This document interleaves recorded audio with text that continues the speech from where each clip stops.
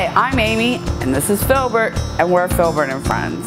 Today's topic was suggested by a viewer, and they wanted to know more about training a guinea pig. So that's what our topic is for today. We want to give a special shout out to our youngest viewer, Mark, who watches Filbert and Friends. It's on our YouTube channel and he watches it on his big screen TV. Can you imagine anything better than Filbert? Is Filbert this big? So thanks Mark for watching. And we're gonna go into today's topic, which is training a guinea pig. So, as you know from other episodes, I like to talk from my own experience.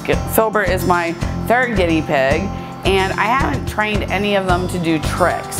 Sometimes they'll have a quirk or a propensity to do something kind of quirky or interesting and I'll encourage that and positively reinforce it, but I don't really train to do tricks. I have seen guinea pigs um, respond to vocal commands in the sense I've seen people go pig, pig, pig and they start to wheek for their food, but they're really responding um, knowing that they're about to get fed.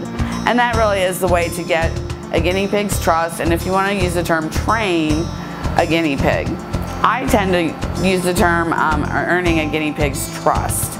And there's a lot involved with that, including having a very calm atmosphere. I don't play a lot of loud music or loud TV. Um, I use slow motions when I'm around Filbert. I try to do things that would relax him and put him at ease.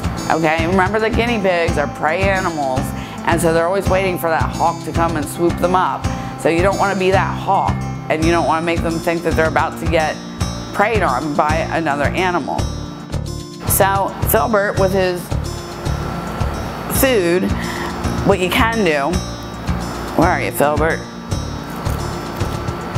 What are you doing, bud? Oh, you're already eating? Well, are you hungry still? If you have a guinea pig eat from your hand, that's or take it right out of your hand. That's a good way to, he's looking for a place to eat. Here you go, buddy. He's looking for a place to eat his carrot in peace. If you can feed your uh, guinea pig out of your hand, that's a good way to earn their trust. Now, I usually do let Filbert just take it, but I've seen people also hold on to it.